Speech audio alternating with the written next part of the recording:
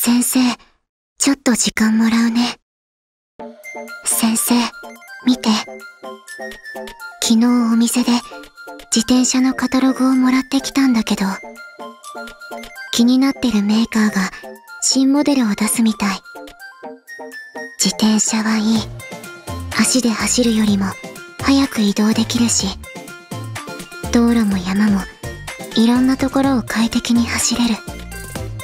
それに、漕いでる間、風が当たって気持ちいいから。先生も自転車に興味出てきただったら私がいろいろ教えてあげる。他のカタログも持ってくるから待ってて。ブルーアーカイブ